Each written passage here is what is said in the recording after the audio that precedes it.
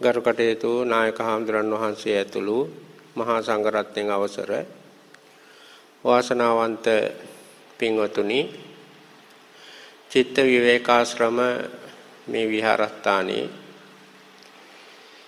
මීට මාසයකට පෙර ආරම්භ කරපු ඒ භාවනා හුදකලා භාවනා වැඩසටහන අද දවසේත් පැවැත්වෙනවා. මෙහිදී අද විශේෂත්වය වෙන්නේ මේ වැඩසටහනට ආධුනිකයන්ටත් අද දවසේ සහභාගී වෙන්න පුළුවන් බව දැනුම් දුන්නා.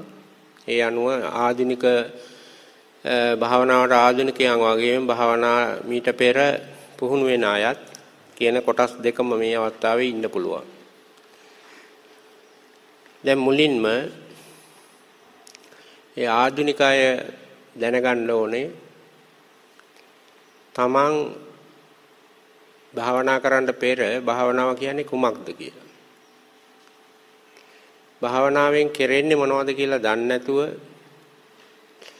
කොච්චර කල් භාවනා කරත් එයා හැමදාම ආදුනිකයෙක් පමණයි. සෑම කටයුත්තකම මේ સિદ્ધාන්තයේ තියෙනවා. කරන දේ ඵලය දන්නේ නැත්නම් ඒ කරපු වැඩේ වැඩක් නෑ. දැන් ජීවත් වෙන්නේ මොකටද කියලා දන්නේ නැති අයගේ අවුරුදු 100ක් ජීවත් වුණාට වැඩක් නෑ. හුඟක් අයට ජීවත් වෙන්නේ මොකටද කියලාවත් දන්නේ නැතුව ජීවත් වෙන්න විතරක් දඟලනවා. ඒකට එහෙම අය භාවනාවෙන් කෙරෙන්නේ මොකද්ද කියලා දන්නේ නැතුව භාවනා කරමින් ජීවත් වෙන්න දඟලනවා. ඒ භාවනා කරමින් ජීවත් වෙන්න දැඟලුවා කියලා ඇති පළක් නෑ. මොකද භාවනාවේ වෙන්න ඕනේ දේ දන්නේ ඒ යමක් කරලා ඒන් ලැබෙන ප්‍රතිඵලය දන්නේ නැත්නම් වෙන හානිය මොකද්ද? හානිය තමයි Tamanට කැමති ප්‍රතිඵලයක් මේකෙන් ලැබෙනවා කියලා විශ්වාස කිරීම. නැත්නම් අනුන් කියන ඕනම් බොරුවකට රැවටෙන එක. ඒතර වර්තමානයේ බහුතරය භාවනා කරන්නේ ඔන්න ඔය බොරුව උඩයි. භාවනාවෙන් ලැබෙන ප්‍රතිඵලය මොකක්ද කියලා ලැබෙන්න ඕනේ ප්‍රතිඵලය දන්නේ ඒ නිසාවෙන් එක එක කපුව කට්ටඩිය කියන ප්‍රතිඵල පිළිගන්න වෙලා තියෙනවා. දැන් බෞද්ධ විදිහට දැනගන්න ඕනේ ලෝකේ තියෙන භාවනා වලින් ලැබෙන ප්‍රතිඵල නෙවෙයි. බෞද්ධයෙක් දැනගන්න ඕනේ බුදුහාමුදුරුවෝ දේශනා කරපු ප්‍රතිඵලය. බුදුහාමුදුරුවෝ පෙන්නන ධර්මයේ තුල තියෙන භාවනාවක ලැබෙන්න ඕනේ ප්‍රතිඵලය බුදුහාමුදුරුවෝ දේශනා කරන ප්‍රතිඵලයක් විය යුතුයි. ඒතර බුදු බුදුහාමුදුරුවෝ දේශනා නොකරපු ප්‍රතිඵලයක් කාට හරි ලැබෙනවා නම් එයා ඒ භාව බුදුහාමුදුරුවන්ගේ භාවනාව ගැන දන්නේ නැතුවයි. ඒතර වර්තමානයේ භාවනා කරලා ලැබෙන ප්‍රතිඵල මොනවද? එලි දැකීම. පාවීම. ඥාන පහළ වීම. වෙන වෙන හැකියාවල් නැගවීම. ශාස්ත්‍ර කියවීම. ලෙඩ හොඳ කිරීම. හොවා බුදුහාමුදුරුවෝ දේශනා කරන භාවනාවල ප්‍රතිඵල නෙවෙයි. ඒ ඒ ඒ හැම දිනම එහෙනම් බුදුහා භාවනාවෙන් ලැබෙන්න ඕන ප්‍රතිඵලය ගැන දන්නේ නැතුව විකාර කරපු අය. එතන භාවනාවක් තියෙන්න බෑ. එතන භාවනාවක ප්‍රතිඵලයක් තියෙන්නත් බෑ. දැන් මෙන්න මේ ප්‍රශ්නේ විසඳ ගන්න වෙනවා ආධුනිකයෙක් භාවනා කරන්න කලින්. නැත්නම් තමනුත් භාවනාවෙන් බලාපොරොත්තු වෙන්නේ අර බොරුකාරයෝ කියන විකෘති. ඒවා හරියට භාවනා කරොත් ඒ විකෘති ලැබෙන්නත් බෑ. එහෙම විකෘතියක් ලැබෙනවා නම් ඒක වැරදි වෙලා ලැබෙන එක. දැන් උදාහරණයක් විදිහට කෙනෙක් බත් උයනවා. ආල් කරලා ලිපේ තියලා උයනවා. වැරදි විදිහට වතුර දැම්මොත් ලැබෙන්න ඕනේ වැරදි විදිහට ගින්දර දැමීමෙන් ලැබෙන්නේ එක්ක බෙරි වෙච්ච බතක් නැත්නම් අමු හාල්.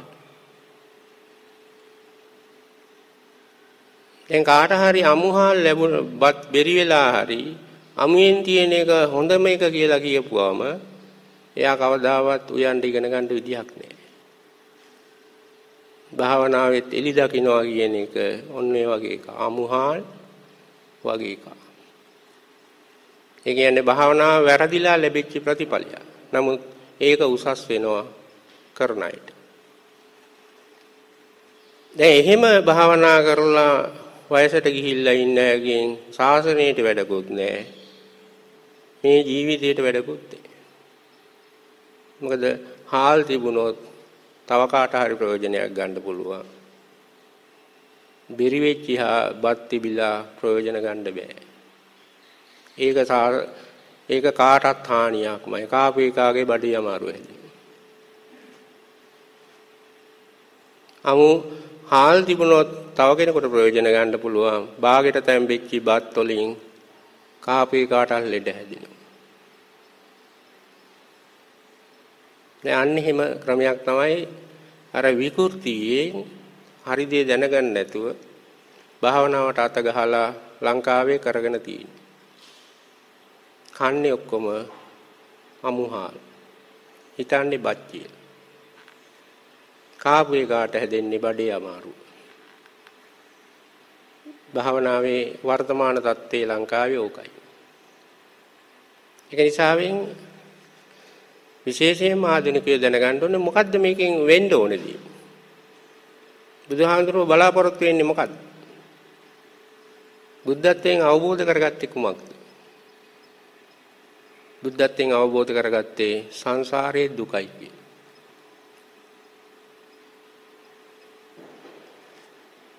ඒ සංසාරයේ දුක නම් සංසාරයේ ජීවත් වෙන මිනිස්සෙකුට එලි දැක්කම දැප වෙන්න පුළුවන්.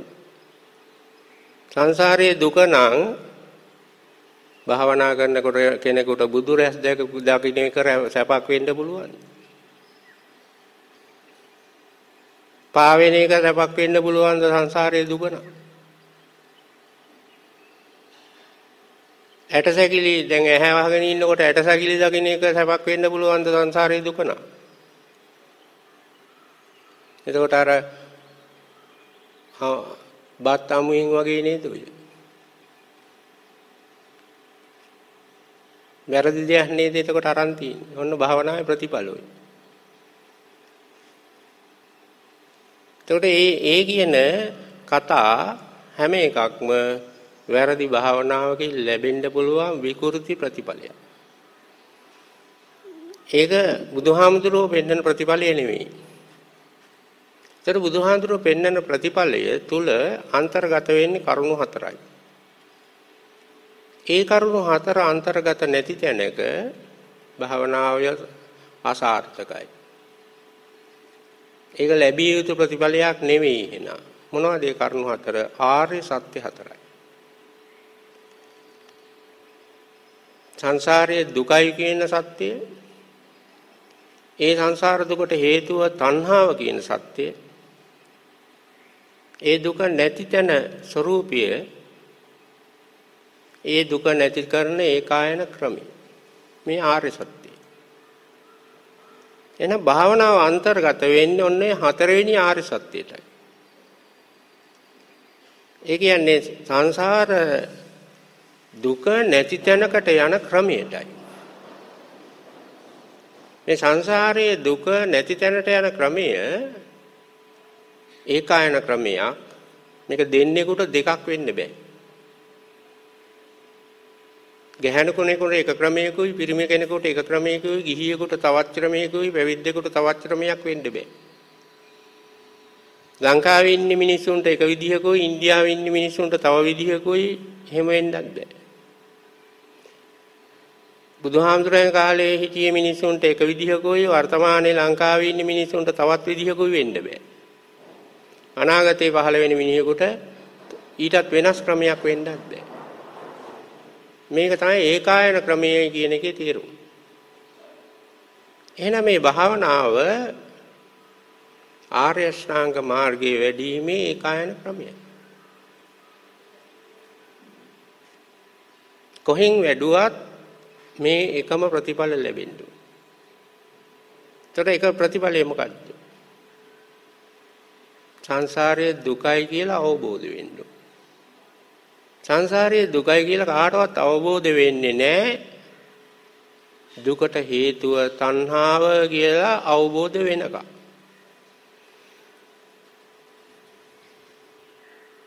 එහෙනම් දැන් දුකට හේතුව සංසාර දුකට හේතුව තණ්හාව කියලා අවබෝධ වුණත් සංසාරයේ දුකයි කියලා අවබෝධ වුණත් දෙකම එකයි.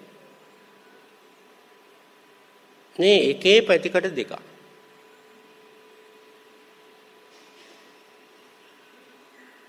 මේ ಗುಣ දෙක එකට තියෙනවා.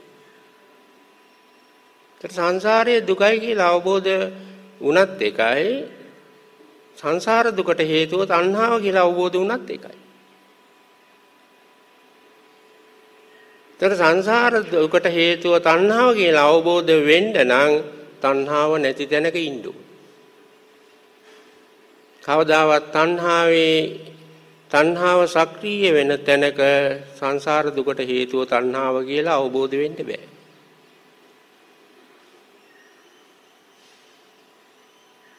දැන් භාවනා කරලා එළි දකින්නකොට තණ්හාව නැතුවද එළිය දකින්නේ? තණ්හාව අන්තර්ගත වෙලාද? කවුරු හරි එළි දැක්කොත් බුදු රැස් දකින්න වෙලාවේ තණ්හාව අන්තර්ගත වෙන්න ඕනේ. තණ්හාව නැති තැනක බුදු රැස් තියෙන්න බෑ. බුදු රැස් දකින්න බෑ. තණ්හාව නැති තැනක එලි දකින්න බෑ. තණ්හාව නැති තැනක ඇටසැකිලි දකින්න බෑ ස්පියාගේ. තණ්හාව නැති තැනක බ්‍රහ්මීත් දකින්න බෑ. දෙවියෝ එක්ක ගනුදෙනු කරන්න බෑ.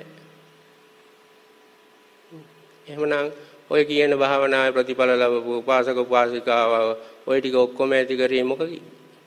තමන්ගේ තණ්හාව. එහෙනම් ආධුනිකයේ එක්ක දුක නැති තැන මේකයි කියලා දැනගන්න ඕනේ භාවනා කරන්න කලින්. ඒක හැබැයි දැනගෙන අවබෝධ වෙන්න බෑ අහලා දැනගන්න. අන්නේ දුක නැති තැන මේ භාවනාවෙන් ලැබුණා නම් ඒ භාවනාව සාර්ථකයි. එහෙම නැත්නම් තණ්හාව නැති තැනක් ලැබුණා නම් ඒ භාවනාව සාර්ථකයි. නමුත් හැමෝම කියන පිළිතුරු මොනවද භාවනාව? තණ්හාව läගපු තැන තියෙන ලක්ෂණ. දැන් අද වුණත් ඕන තරම් කතා කරන්න ඉඩ දුන්නොත් කියයි මට මෙන්න මේ අත්දැකීම් ලැබුණා භාවනාවේ. අත්දැකීමක් ලැබෙනවා නම් ඒ අත්දැකීම ලැබෙන තැන රිංගලා ඉන්නේ කවුද? තණ්හාව. ඒක අහන්නේ කොහොමද? මම නිවන් දැකලාද කියලා අහන්නේ. එතකොට නිවන ගැන තේරිලාද? තණ්හාව läගපු තැනක මිසක අත්දැකීම් තියෙන්නේ. තණ්හාව නැති තැනක අත්දැකීම් තියෙන්න බෑ. තණ්හාව නැති තැනක අත්දැකීම් තියෙන්න බෑ. ඉතින් ඔන්නෝක දැනගෙන ඉන්න. තණ්හාව නැති තැන අත්දැකීම් වලින් මුක්ත තැන. හැබැයි අත්දැකීම් නැතුව නිින්ද ගිය තැනක් නන් නෙවෙයි. සිහි නැති වෙච්ච තැනක් නෙවෙයි. දැන් කාට හරි නිින්ද ගියාට ගියාට තණ්හාව නැහැ කියලා කියන්නේ. මොකද හේතුව? ඇහැරි හැටි තණ්හාව. එහෙමනම් භාවනා කරන්න ඕනේ නැහැ ඔයගොල්ලෝ. තියෙන්නේ ඉන්ජෙක්ෂන් ගහගන්න. එක්ක නිින්ද යන්න නැත්නම් හිරි වැටි. ඒතර තණ්හාව නැහැ.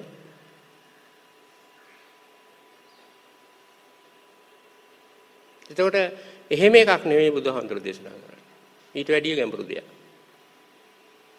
එහෙමනම් අද දුක නැති තැන මේකයි කියන එක නෙමෙයි මම වැඩියෙන් විස්තර කරන්න යන්නේ. තණ්හාව නැති තැන හඳුනා ගන්න ධර්ම කාරණා. ඒතර තණ්හාව නැති තැන හඳුනා ගන්න නම් තණ්හාව කියන්නේ මොකද්ද කියලා දැනගන්න. තණ්හාව කියන්නේ වෙන වැරදි අර්ථ දැක්වීමක් නම් Taman ළඟ තියෙන්නේ අර්ථ කතනයක් නම් තියෙන්නේ. ওই භාවනාවෙන් තණ්හාව නැති තැන ලැබුණත් එයාට වටින්නේ. දැන් උපාසක උපාසිකාවන්ට තණ්හාව කියලා තේරෙන්නේ ලෝභය. මොකද අනාදි මච්චාලයක තමන් ඔය රට පුරා සුදු ඇඳගෙන රත්තියාදු ගැහුවේ තණ්හාව ලෝභය කියලා හිතාගෙන. නමුත් ධර්ම ලෝභය කියන්නේ එක වචනයක්, එක ධර්මයක්. තණ්හාව කියන්නේ තව ධර්මයක්. ඒකට තමයි තමන්ගේ ලෝභකම අඩුයි, අනුන්ගේ වැඩි කියන එක තමයි හැමෝටම තේරෙන එක. එතකොට ඒක තේරුම තමන් විශ්වාස කරන්නේ අදහන්නේ කොහොමද? මම ළඟ තණ්හාව අඩුයි, අරය ළඟ වැඩි. දැන් දන් දෙන මිනිහා හිතනවා මම ළඟ තණ්හාව අඩුයි. ඒක හින්දායි මන් දෙන්නේ. අනික මිනිහා කුණු ලෝභියෙක් වගේ ඉන්නකොට හිතනවා එයා ළඟ තණ්හාව වැඩි. නෙමෙයි සිල් ගන්නේ නැහැ හිතාගෙන ඉන්නවා මං සිල් ගන්න හැමදාම එනවා අනික අය එන්නේ නැත්තේ මන් ළඟ තණ්හාව අඩුයි. ගෙදර නිකන් ඉන්නේ අය සංග ළඟ තණ්හාව වැඩි.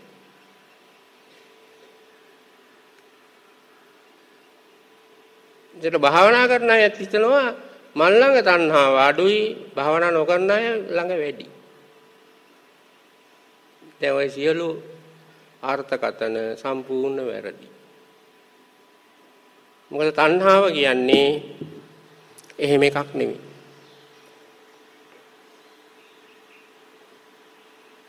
තණ්හාව කියන්නේ ඔයගොල්ලන්ට මේ බණ අහන්න උදව් වෙන්නේ තණ්හාවයි. මට මේ බණ කියන්න උදව් වෙන්නේ තණ්හාවයි. මෙතන ඉන්න ගැහැණුකමට ඔය ගැහැණුකම ලබා දුන්නේ තණ්හාවයි. ගැහැණුකම අසිරින්නේ තණ්හාවයි. පිරිමිකම ලබා දුන්නේ තණ්හාවයි. මහලුකම ලබා දුන්නේ තණ්හාවයි. එහෙනම් දැන් තරුණකම ලබා දුන්නේ තණ්හාවයි. සිංහලකම ලබා දුන්නේ තණ්හාවයි. දැන් කා ළඟවත් තණ්හාව අඩු කෙනෙක් හා වැඩි කෙනෙක් කියලා කෙනෙක් ඉන්න පුළුවන්. ලෝභය අඩු වැඩි වෙන්න පුළුවන්. ලෝභය නෙවෙයි මේකේ ප්‍රශ්නේ තණ්හාවයි. තණ්හාව තිබුණොත් තමයි ලෝභ දේශ මොහව අලෝභ දේශ මොහව තියෙන්නේ. එහෙනම් කුසල මුල් ඇති වෙන්න හෝ අකුසල මුල් ඇති වෙන්න මූලික පදනම තණ්හාවයි. තණ්හාව නැති තැන කුසලයක් නැහැ. තණ්හාව නැති තැන අකුසලයක් නැහැ. තණ්හාව නැති තැන අභ්‍යාකෘතිය කෘත ස්වરૂපයකුත් නැහැ. ඒ කියන්නේ මොකද්ද? කුසලය කියන්නේ කාමාවචර කුසලය. අකුසලය කියන්නේ කාමාවචර අකුසලය. මේ දෙකම ඕන කුසලයක් කරනකොට තණ්හාව තිබුණ නැත්නම් කරන්න බෑ. තණ්හාව නැතුව අටමහා කුසල් කරන්න බෑ කාටවත්. තණ්හාව නැතුව පස්පව් කරන්නත් බෑ. නමුත් පස්පව් නෙමෙයි තණ්හාව අටමහා කුසලයේ නෙමෙයි තණ්හාව. පස්පව් කරන්නත් අටමහා කුසලයේ කරන්නත් මුල් කාරණේ තණ්හාවයි. දැන් එහෙම තණ්හාවක්ද දන්නේ? දැන් ගහණුකම ලැබෙන්නත් පිරිමිකම ලැබෙන්නත් මූලික වුණේ තණ්හාවයි. ඒකට ගහණු අයට තණ්හාව අඩුයි පිරිමි අයට වැඩි කියන්න පුළුවන්. දැන් අටමහා කුසල් කරන අය ළඟ තණ්හාව අඩුයි පස්පව් කරන අය ළඟ තණ්හාව වැඩි කියන්න පුළුවන්. ඒ දෙකටම උදව් වෙලා තියෙන තණ්හාව.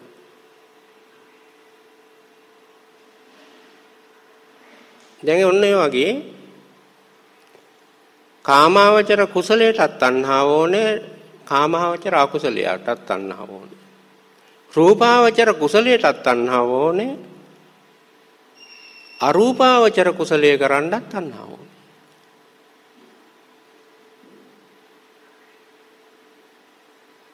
මෙන්න මේ අරූපාවචර කුසලය අභ්‍යාකෘත කියලා කියනවා. අභ්‍යාකෘත කියන්නේ කුසලත් නෙවෙයි අකුසලත් නෙවෙයි කියන්නේ. තර කාමාවචර කුසලයයි රූපාවචර කුසලයයි තණ්හාවෙන්ම හැදෙන එක.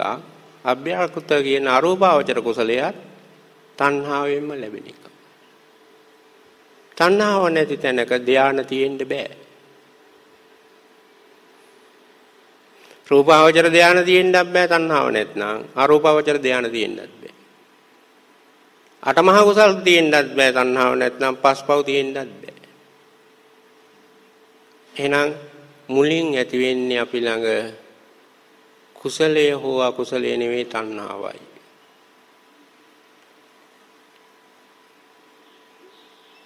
කොයි වෙලේ කොහේද තණ්හාව හටගන්නේ?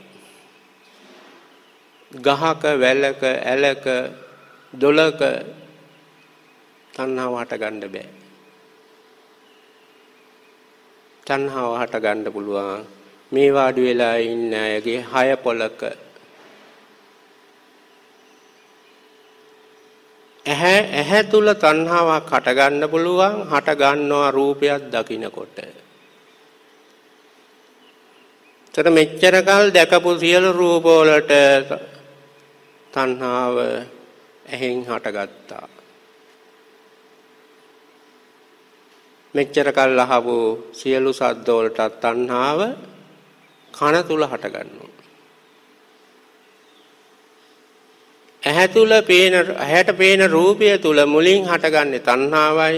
තණ්හාව හටගත්තොත් තමයි ඒ රූපය තුලින් ලෝභ දේශ මොහ හෝ අලෝභ දේශ මොහ ආදී කුසල හෝ අකුසල ක්‍රියාකාරීත්වයක් ඇති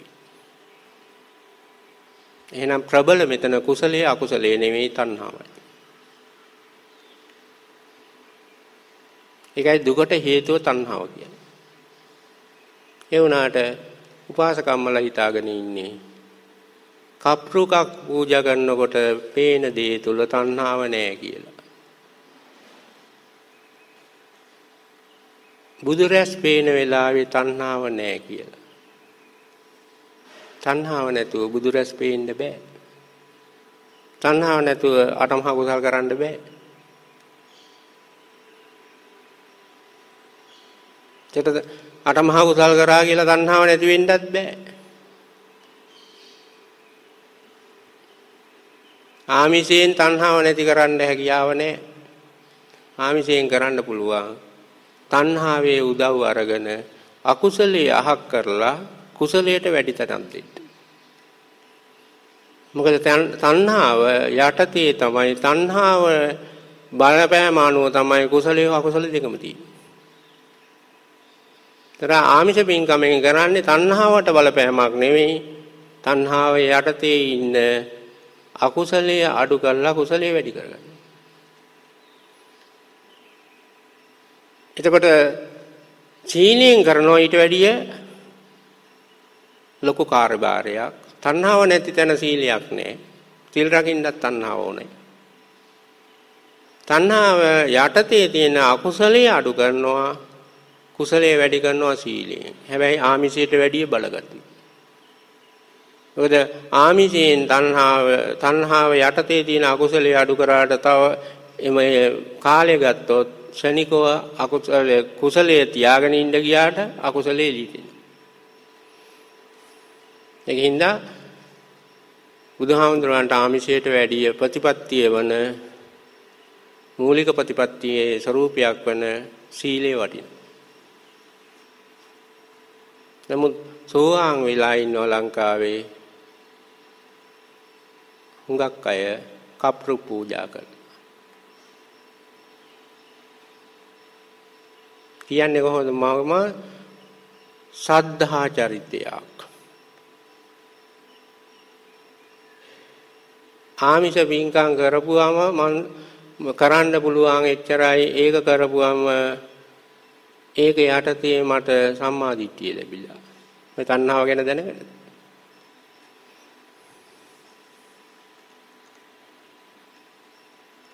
මොකද දන් දීලා සෝවාන් වෙච්ච අය ඉන්න ලංකාවේ. ඒගොල්ලෝ හිතාගෙන ඉන්නේ සෝවාන්. කරලා තියෙන්නේ දන් දීපීක. දන් දෙනකොට මොකක්ද වෙන්නේ? තණ්හාව වැඩිනවා. දැන් තණ්හාව නැති තැනකනේ සම්මාදිට්ඨිය තියෙන්නේ. එහෙනම් කුසල් හෝ අකුසල් කියන දෙකටම තණ්හාව උදව් වෙනවා. කාමාවචර කුසල අකුසල් වලට විතර නෙවෙයි රූපාවචර කුසලයටත් අරූපාවචර කුසලයටත් තණ්හාව නැතුව කෙරෙන්න බෑ. තණ්හාව නැති තැනක් නෙවෙයි ඒක. ඒ රූපාසකම්මලට විතරක් කොහොමද වෙන්නේ? අප්‍රුප් පූජාවෙන් සෝවාන් වෙන්න පුළුවන්. එහෙනම් අරූපාවචර කුසල කරව උද්දකාරාම පුත්‍ර රහත් වෙන්නේ තාලෙට සාදු කියපු උපාසකම්මලා ඉන්නවා. තාලෙට සාදු කියන්නේ විතරයි දන්නේ. ඒත් හිතේ මල් සම්මාදිට්ඨිය තියෙන මල් ළඟ. ඒ තාලෙට සාදු කියවලනේ කියලා සම්මාදිට්ඨිය ලැබෙනවා නම් අරූපාවචර කුසලයේ තියෙන උද්දකාරාම පුත්‍රට මොකද වෙන්න ඕනේ? ඔය වගේ නැහැදිච්ච සමාජයක් හැදිලා විකාර කරලා නාකි වෙලා සුදුරෙදි බෙරෝගෙන රට පුරා ඇවිදින බෞද්ධය ටිකක් තමයි ලංකාවේ. මොකද ධර්මයේ දන්නේ. Tamanට ඕන ඕන කල්ලියක් හැදුනාම ඒ කල්ලියට ඕන එක තමයි තණ්හාවත්. ඒ කල්ලියට ඕන විදිහට අර්ථ දක්ව ගන්නවා. දෙන්නෙක් එකතු වුණාම ඇති. උපාසකම්මල දෙන්නෙක් එකතු වුණාම ඒ හොඳටම ඇති ධර්මයේ විකෘති කරගන්න.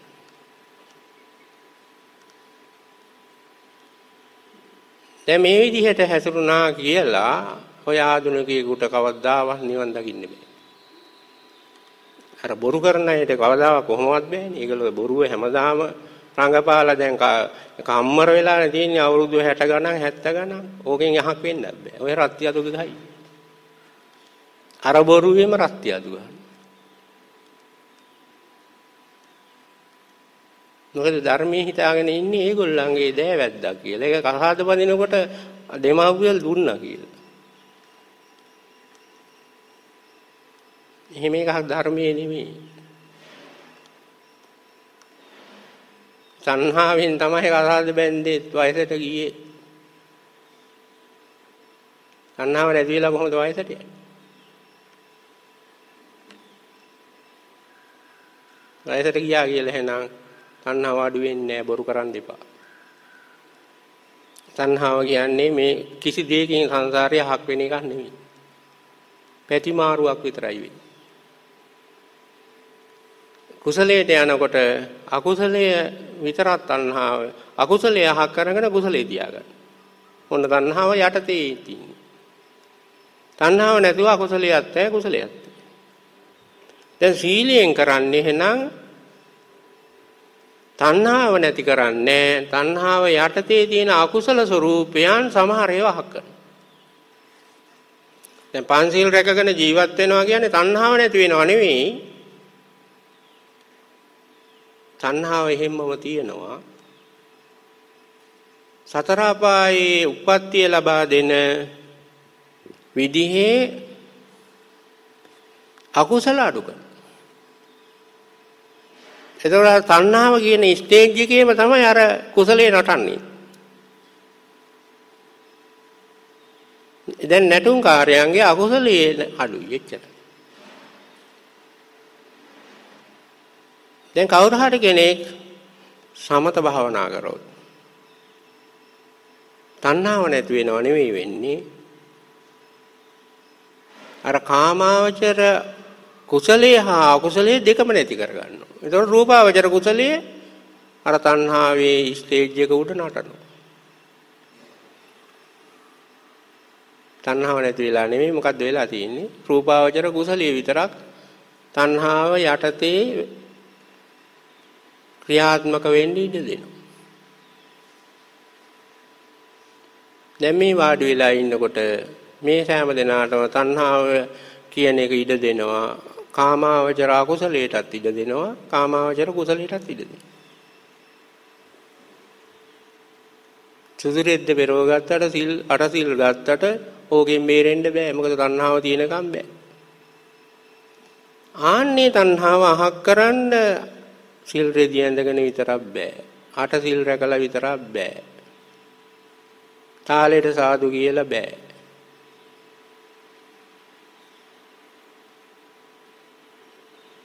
ඒ වගේම මොනවා හරි එකක් ජප කරලා බෑ. ජප කරන්නත් තණ්හාව ඕනේ. මෙනෙහි කරන්නත් තණ්හාව ඕනේ. ඒතකොට එකකින්වත් බෑ. ඒ කියන්නේ තණ්හාව සම්පූර්ණයෙන් අහකරන්න ආමිෂ පින්කම වෙනුත් බෑ, පස්පව් වලිනුත් බෑ, ආමිෂ පින්කම වෙනුත් බෑ. සීල් රැකලත් බෑ. සමත භාවනා කරලත් බෑ. ඒ තණ්හාව ලගිනවා. එහෙනම් අපි හිතන දෙයක් නෙමෙයි බුදුහාඳුරු දේශනා කරන තණ්හාව.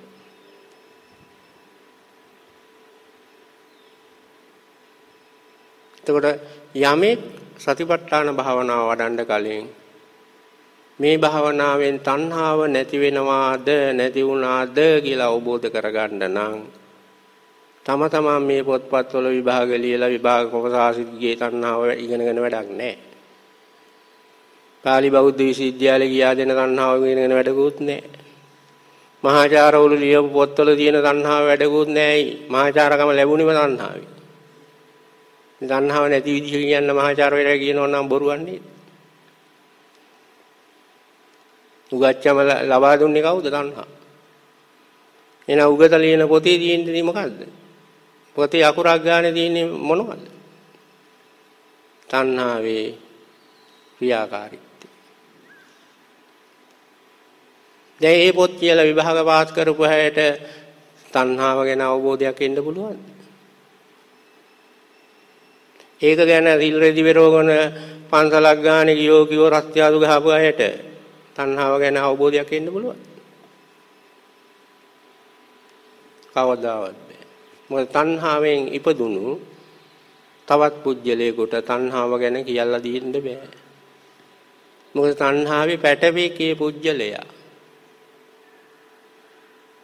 උගත කියන්නේ තණ්හාවේ පැටවේක. නූගතා කියන්නේ තණ්හාවේ පැටවේ.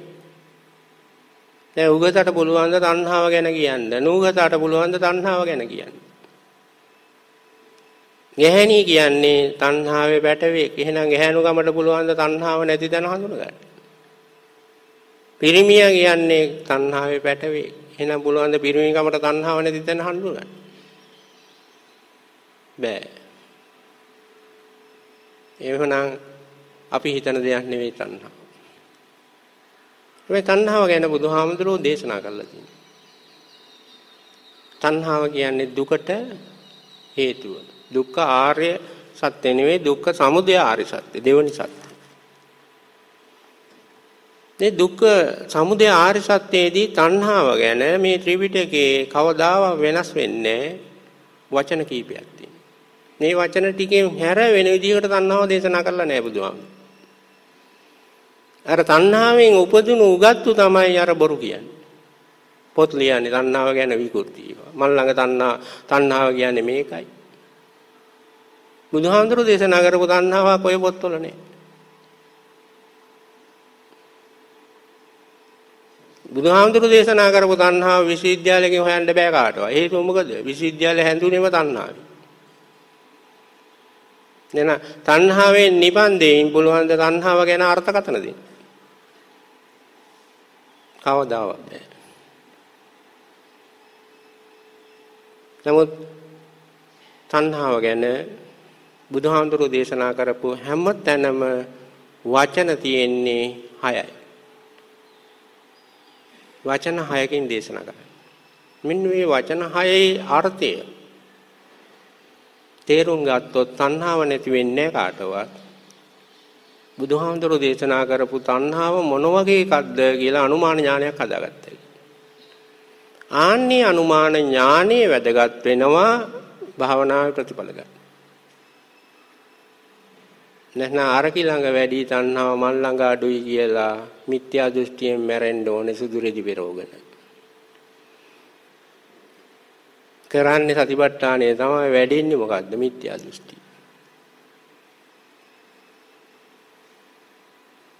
සිල් අරගෙන කරන්නේ සතිපට්ඨානේ වැඩෙන්නේ මිත්‍යා දෘෂ්ටි. තණ්හාව ගැන වැරදි අවබෝධය. ඒතර බුදුහාමුදුරෝ තමන් වහන්සේ මේ සංසාර දුකට හේතුකාරකය වන අහක් කළ යුතු ඉවච්චලගත යුතු ධර්මයක් වන තණ්හාව හඳුන්වපු වචන හතර හය මෙන්න මේකයි. යායන් තණ්හා මේ තණ්හාව කියන දේ මෙන්න මේකයි කියලා කියන යායන් තණ්හා. පෝනෝ භවිකා නන්දි රාග සහගතා తත්‍ර తත්‍ර අභිනන්දනී. ඔන්න තණ්හාවේ ක්‍රියාකාරීත්වයේ ලක්ෂණ තුනක් මේ. තණ්හාව තියෙන තැන දකින්න පුළුවන් ලක්ෂණ තුන. ක්‍රියාකාරී ක්‍රියාකාරී ස්වરૂප තුන. මොකද්ද? පෝනෝ භවිකා පළවෙනි ක්‍රියාකාරීත්වය. තණ්හාව läග්ගොත් කොහේ හරි තණ්හාව තියෙන තැන තණ්හාව තියෙනවා කියලා සලකුණ පළවෙනි එක පෝනෝ භවිකා. පෝනෝ භවිකා කියන්නේ අලුත් උප්පත්තියක්. නැවත ඉපදීම. ඔන්න තණ්හාව läග්ගේ තැන තියෙන ලක්ෂණය. පෝනෝ භවිකා කියන ගුණය තියෙනවා. තණ්හාව හැර වෙන දෙයකට බෑ අලුත් උප්පත්තියක් ගේන්න නමුත් මෙතන ඉන්න අය හිතාගෙන ඉන්නේ මම පෙන්ෂන් ගියාම අලුතෙන් ඉපදුනා. කොහොමද ඉපදුනේ? එතකන් ඇඳපු අර ඇඳුම් මෝස්තර ගලවලා සුදු රෙද්දක් ඇඳගත්තා. පුටුව කරගහ ගත්තා. එච්චරකල් shopping ගිය අය දැන් පන්සල් වල shopping යනවා. ඒ අලුත් උප්පත්ති. කවුද ඒක කරේ? තණ්හා. තණ්හාවේ තියෙන්නේ ඔන්න ඔහොම ඒවා. පෝනෝ භවිකා කියන්නේ තණ්හාව läගව තැන අලුත් උප්පත්තිය. ඊගාට තව ගුණ දෙකක් තියෙනවා. නන්දි රාග සහගතා පෝනෝ භවිකා පළවෙනි ගුණය තණ්හාව läග්ගම තියෙන ලක්ෂණය. දෙවෙනි ගුණය ලක්ෂණය දෙවෙනි ලක්ෂණය තමයි තණ්හාව läග්ගප තැන. තණ්හාව තියෙන තැන තියෙන නන්දි රාග සාගතා. නන්දි රාග සාගතා කියන එකේ තේරුම සතුටු කරනවා. පොනෝ භවිකා කියන්නේ අලුත් උත්පත්තියක් ලබනවා. ඒ ලැබුවා වූ අලුත් භවයේ සතුටු කරනවා ඒ තණ්හාව කරන කාර්යය. කුසලයේත් එකයි මේක අකුසලයේත් එකයි. රූපාවචර කුසලයේත් එකයි අරූපාවචර කුසලයේත් එකයි. අලුත් උප්පත්තියක් ලබා දෙනවා ඒකේ සතුටු කරනවා ඊගාවට තව දෙයක් තණ්හාව කරනවා එහෙම එහෙම සතුටු වෙලා එක දෙයක ඉන්න දෙන්නේ අලුත් උප්පත්තියක් ලබා දුන්නට තණ්හාව ඒ උප්පත්තියේ ඉන්න දෙන්නේ නැහැ ලැබියේ මොහොතේ සතුටු කරනවා. ඒකට කියනවා නන්දි රාග සාගතා කියලා.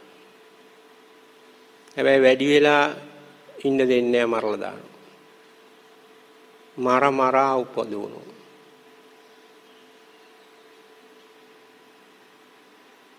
ඒ මර මරා උපදවන ගුණයේ තියෙන තුන්වෙනි ගුණයයි. මොකද්ද තුන්වෙනි ගුණය තණ්හාවේ తත්‍ර తත්‍ර අභිනන්දනී.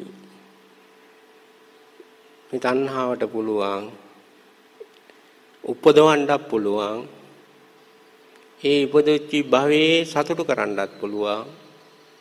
හැබැයි වැඩි වෙලා ජීවත් වෙන්න දෙන්නේ නැහැ මරලා දාන්නත් පුළුවන්. මේ මරලා දාන්න පුළුවන් කියන ගුණය තමයි తත්‍ර తත්‍ර අභිනන්දනී කියන්නේ. ඒකේ තේරුම తත්‍ර తත්‍ර අභිනන්දනය කියන්නේ අභිනන්දනය කියන්නේ සතුටු වෙනවා. తත්‍ර తත්‍ර කියන pāli දෙකේ වචන දෙකේ තේරුම తත්‍ර කියන වචනේ තේරුම පැන පැනා පැන පැනා සතුටු වෙන්න පුළුවන් තණ්හාවට. ඔන්න තණ්හාවේ හැටි. දැන් ඔහොම තණ්හාවක්ද දන්නේ?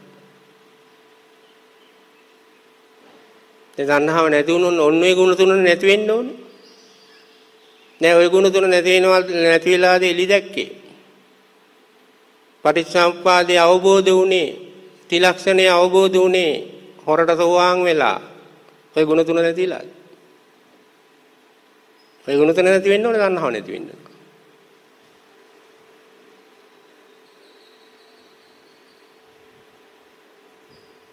දැන් එහෙම කරන භාවනාව ඔන්න ඒ ගුණ තුන නැති තැනක ප්‍රතිඵලයක් නම් සතිපට්ඨානයේ ප්‍රතිඵලයක්. ඔය ගුණ තුනද ගැන දන්නේ නැති කෙනාට එහෙනම් සතිපට්ඨාන ප්‍රතිඵලයක් ගැන හිතන්න පුළුවන්ද? ඒක නේද අර මැජික් ලොකු වෙන්නේ. ඉන්ද්‍රජාල ලොකු වෙන්නේ.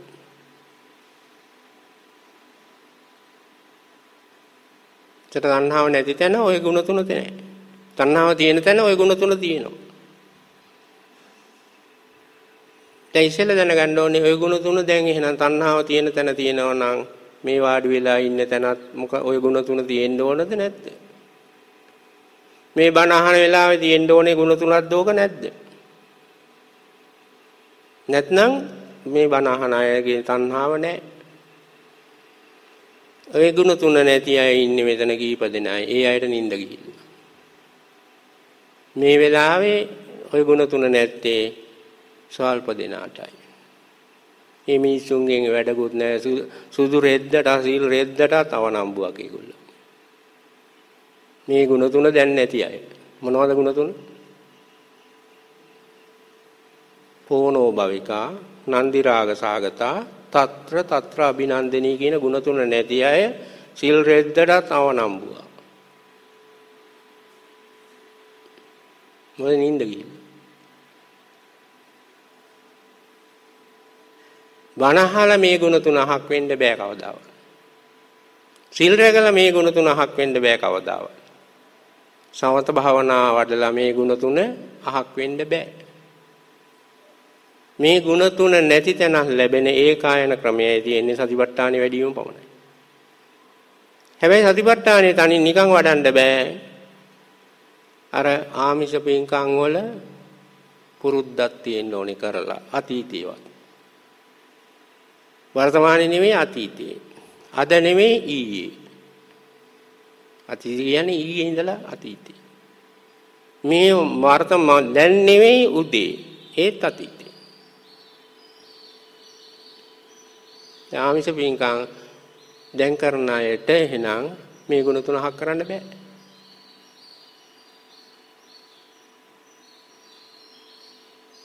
සිල් රැක්කා කියලා මේ ගුණ තුනක් වෙන්නේ වැඩි වෙනවා.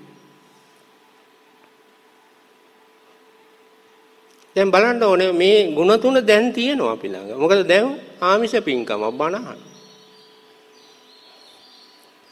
බණහන වෙලාවේ බණහන්න උදව් වෙන්නේ කවුද? ඕනෝ භවිකා නන්දි රාග සාගතා తත්‍ර తත්‍ර අභිනන්දනී කියන ಗುಣ තුනයි. ඒ ಗುಣ තුන කාටද අයිති? තණ්හාවටයි.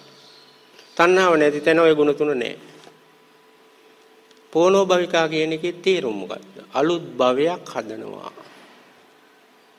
පෝනෝ භවිකා කියන්නේ අලුත් භවයක් හදනවා. නිකන් නෙවෙයි අලුත් භවයක් හදනවා ඒ භවය අයිති එකෙක් බිහි කරනවා. ඔන්න තණ්හාව කරනදී භවේ නිකන් හදන්නව නිකන් ඉන්නේ භවයක් වෙන්නේ භවයේ හිමිකාරයකින් දෝනි.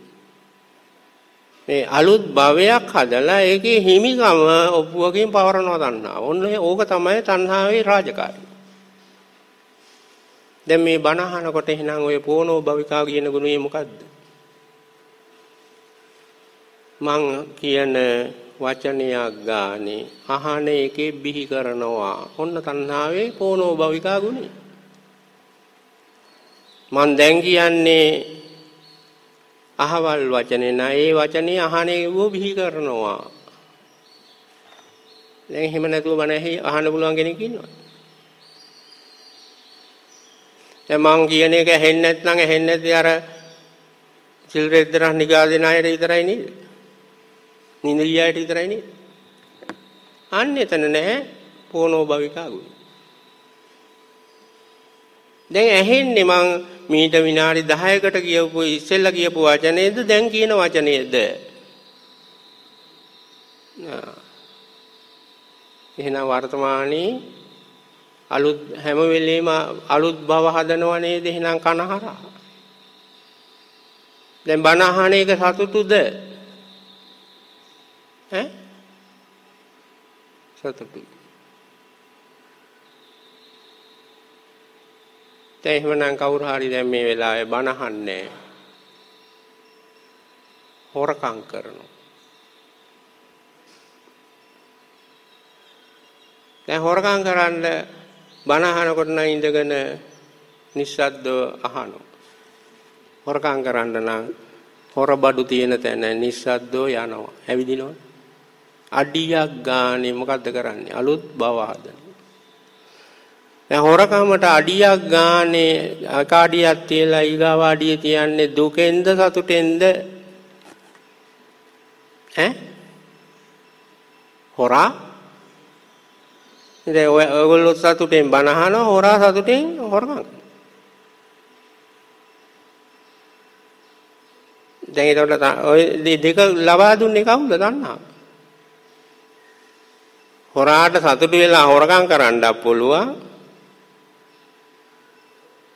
සුදුරෙත් දැඳගත්ත අයට සතුටෙන් බණ අහන්නත් පුළුවන් වෙනස තියෙන්නේ වයස විතරයි 60ට ඉස්සෙල්ලා කරේ ඔය හොරා කරන දීගම තමයි. සතුටෙන් කරේ රාජකාරි මග ඇරීම පුටු උඩ නිදා ගැනීම රාජකාරි පුටු උඩ. ඔය සතුටෙන් නේද කරේ කාලේ.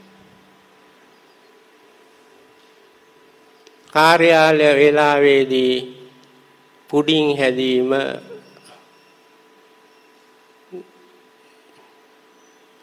දැන් ඕවා කරලා නේද වයසට ගියේ. ඒකට සතුට සතුට ඇති කරේ කවුද? තණ්හා. නන්දි රාග සහගතා. තේරෙනවනේ?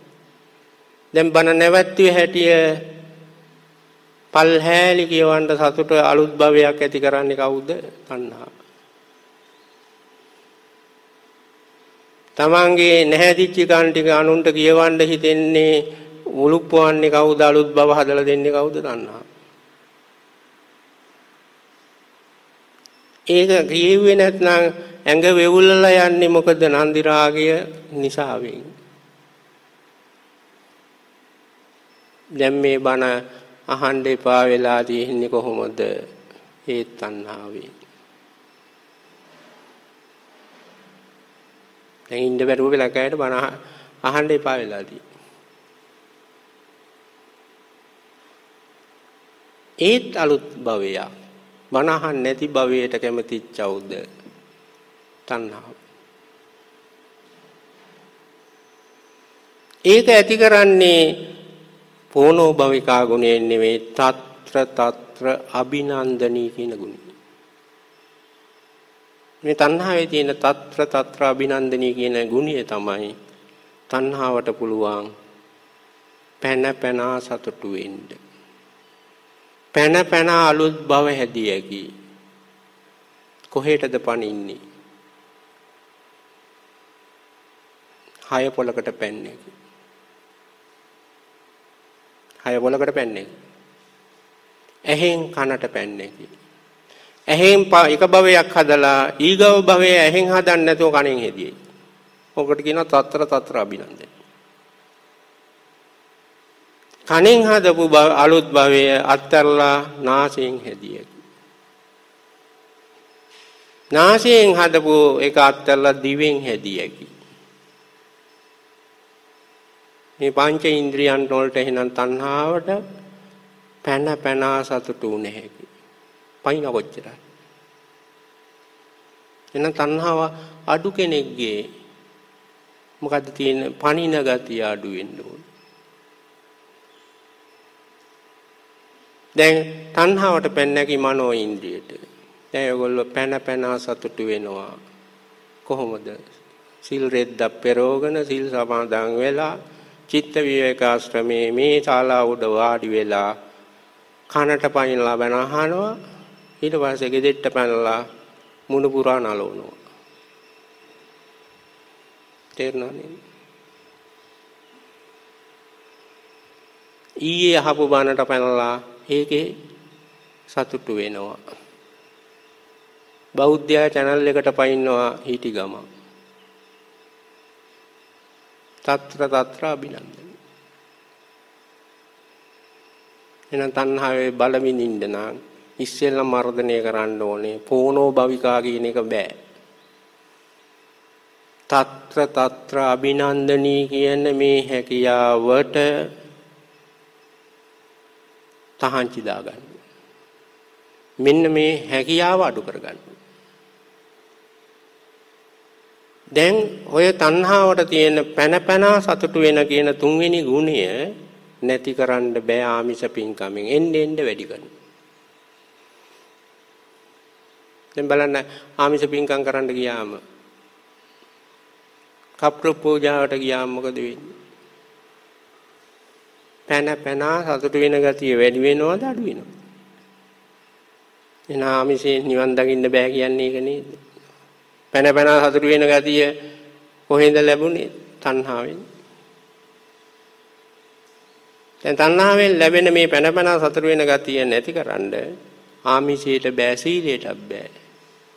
ඒ සීලයට බැරි. පයින් අල්ලපු ගෙද අල්ලපු ළඟ ඉන්න කෙනාට අරකිගේ සුදු රෙද්ද පාට නෑ. මගේ එක සුදු පාටයි. අරයා සීල් ගත්තට මස් මාංශ කනවා. මම එහෙම නෑ. එහෙම වෙලා ඊන් සතුටක් නේ දෙන්නේ. කවුද ඒ සතුට කියන්නේ? අර නැහැදිච්ච తත්‍ර తත්‍ර අභිනන්දනී කියන ගුණිය. අර කිට වැඩිය මං උසස්. පැන පැන සතුට වීමේ ප්‍රතිඵලය. අනුන්ගේ වැරදි හොයලා නේද ඒක පණින්න නැතුව අනුන්ගේ වැරදි අයියා කිව්වා.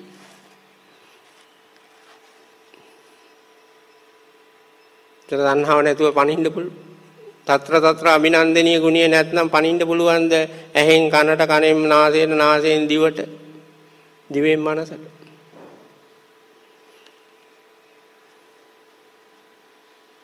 දැන් ඒව කරන්න බෑ.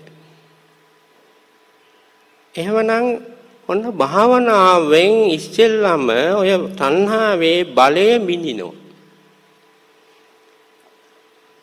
බිඳින්නේ කවදාවත් කාටවත් බෑ තණ්හාව සක්‍රිය වෙන පෝනෝ භවිකා ගුණය නැති කරන්න. අලුත් භවයක් හදන එක නැති කරන්න බෑ. අලුත් භවය කියන්නේ මැරලා උපදින එක නෙවෙයි මෙතන. ඇහැ තුල අලුත් රූපයක් පේන තැන අලුත් භවය. කනින් අලුත් සද්දයක් ඇහෙන තැන අලුත් භවය. එතකොට තණ්හාව කරන්නේ පේන එකෙක් බිහි කරනවා මට වෙනවා කියනවා. ආන්න ඒක තමයි මෙතන දරුණු. දුක තියෙන්නේ මම මට මමත්වය බිහි කිරීමයි. අලුත් භවය කියන එක තුල තියෙන්නේ රූපයක් පෙනුනට භවයක් හැදෙන්නේ කාටවත්. භවයක් හැදෙන්නේ අලුත් භවයක් වෙන්නේ පෙනිච්ච එකේ බිහි වුණොත්. පෙනිච්ච එකේ බිහි වෙන්නේ නැතුව ඒගොල්ලන්ට බලන්න පුළුවන් දෙයක් නැහැ. බලන දකින්න හැම දෙයකම දකින්න එක බිහි. දකින්නකොට බිහි වෙනවා. ඒක දකින්න එක බිහි කරන එකට තමයි පෝනෝ භවිකා කියන්නේ. ඇහෙන එක බිහි කරන එකට තමයි පෝනෝ භවිකා කියන්නේ. ඇහිම අලුත් භවයක් නෙවෙයි. ඇහිම දිත්තේ දිත්තමන්තම් භවිස්සති. ඒක අලුත් භවයක් නෑ. අලුත් භවයක් වෙන්න නම් මොකද්ද වෙන්න ඕනේ? දැකපු එක විතරක් නෙවෙයි දැකපු එකෙක් බිහි කරන්න ඕනේ. දැකපු එක බිහි කරලා දකින්න එකෙන් සතුටු කරන්නේ තණ්හාවයි. ඒ සතුට අනුව තමයි ඊගාවා කුණු ගොඩවල් ටික එන්නේ. තණ්හාව සක්‍රිය වුණේ නැත්නම් දකින්න එක හොඳ වෙන්නත් බෑ. දකින්න එක නරක වෙන්නත් බෑ. දැන් හොඳ හෝ නරක වෙන්නේ දකින්න එකෙක් බිහි වෙච්ච හින්දාමයි පොනෝ භවිකා ගුණයේ තියෙන හින්දාමයි පොනෝ භවිකා ගුණේ නැතුව දැක්කොත් හොඳ වෙන්නත් බෑ නරක වෙන්නත් බෑ හොඳ තියෙන්නේ හෝ නරක තියෙන්නේ තණ්හාව läගපු හින්දාමයි. එහෙනම් එලිපෙනීම හොඳ උනේ තණ්හාව läගපු හින්දා නෙවෙයිද? විපස්සනා ඥාන පහළ වුණා කියලා උපාසකම්මලා කෑමොර දෙන්නේ මොකද? තණ්හාව läගපින්ද නේද? මට අලුත් ඥානයක් පහළ වුණා කියන්නේ මොකද? මම සම්මාදිට්ඨිය ලැබුවා කියන්නේ මොකද? තණ්හාව läගපින්ද නේද? දැන් ඔය වගේ ධර්මයක් බුදුහාමුදුරන්ගේ නෑ. ඒවා උපාසක උපාසිකාවන්ගේ ධර්ම. දැන් තණ්හාව läගපු නැති තැනක ওই ಗುಣ තුන තියෙන්න බෑ. දැන් සමත භාවනාවෙන් කරන කාර්ය ওই තණ්හාවේ ಗುಣ තුනේ පෝනෝ භවිකා අහක් කරන්න බෑ. අලුත් භවයක් හදන එක අහක් කරලා නෙවෙයි රූපාවචර ධානය ලැබෙන්නේ. අලුත් භවයක් හදන ගුණය තණ්හාව තියෙනවා එතන. ඒ වගේම නන්දි සහගත නන්දි රාග සහගතා කියන ගුණයත් අහක් කරලා නෙමෙයි රූපාවචර හෝ අරූපාවචර ධානය ලැබෙන්නේ. ওই ගුණ දෙක හක් වෙලා තියෙනවා. නමුත් කාට වුණත් සමත භාවනාවක් කරලා දිනු වෙන්නත් ඔය තණ්හාවේ තුන්වෙනි ගුණය නම් මැඩ පවත්වන්න වෙනවා. දුර්වල කරන්න වෙනවා. මොකද්ද? පැන පැන සතුටු වෙන්නේ. දැන් කවුරු හරි මොනවා හරි ජප කරනවා. කොහෙන්ද ජප කරන්නේ? ජප කරන්න උදව් වෙන්නේ තණ්හාව. දෙවියන්ගේ ගුණ ජප කරනවා. කරන්නේ මොකද්ද? නොකඩවා ජප කරනවා. අතරක් නෑර ජප කරනවා. මොකද වෙන්නේ? ජප කරන්න උදව් වෙන්නේ මොන ඉන්ද්‍රියද? තණ්හාව ලගින්න පුළුවන් ඉන්ද්‍රිය හයක් තියෙනවා මිනිස්සෙකුට. ඇස් කන්නාස දිවකය මනස. දැන් ජප කරන්නේ මොකද? මනෝඉන්ද්‍රිය. දැන් මම ওই ජප කරන වේගය තුල නේද පැන පැන සතුටු වෙන්න පුළුවන් වෙන්නේ තණ්හාවට. දැන් ජප කිරීම ප්‍රබල නම් ඒ ජපයේ ඇතුලෙන් පනින්න පුළුවන් ද තණ්හාවට ඇහැට කනට දිවට එහෙනම් සමත භාවනාව කියන්නේ පංච ඉන්ද්‍රිය වලට උපපති පංච ඉන්ද්‍රිය වලට තණ්හාව පණින් නැති වෙන්න පුහුණු වීමයි. ඒතර පණින්න තියන්නේ කොහෙද? අලුත් භවය හදන්න ඕනේ කොහෙන්ද? කනෙන් බැරුව යනවා. ඇහෙන් බැරුව යනවා ඇහැ වහපු හැටි. තණ්හාව ඇහැට ඇහැ වහපු හැටි ඇහෙන් පෝනෝ භවිකා ගුණේ නැහැ. ශබ්ද ඇහෙන්නේ නැත්නම් කණෙන් පොනෝ භවිකා ගුණේ නේ. අලුත් බව හදන්න බෑ. ඒක නිසා බුදුහාමුදුරෝ භාවනාවට සුදුසු ස්ථාන මොනවද කියන්නේ?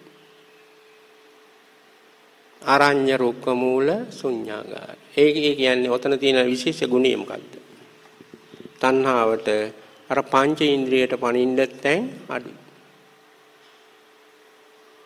නන්දි රාග සාගතා తත්‍ර తත්‍ර අභිනන්දනී කියන පැන පැන සතුට වෙන ගුණයට අඩු ඒවා තියෙන්නේ. දැන් ගෙදර දොර ගෙදර ගිහින් සක්මන් කරපුවම මොකද වෙන්නේ ඔයගොල්ලන්ට?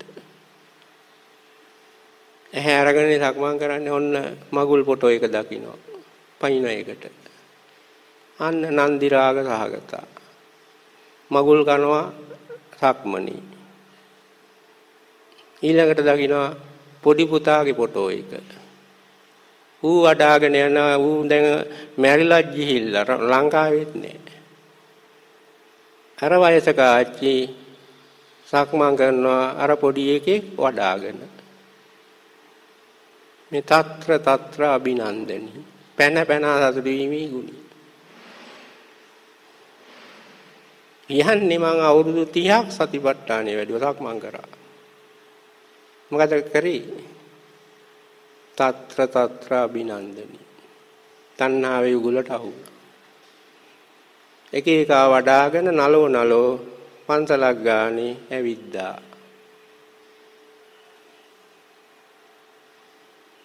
දැන් ඔක තණ්හාව හක් වෙන ක්‍රමයක්ද? තණ්හාවට අහු වෙන ක්‍රමයක්.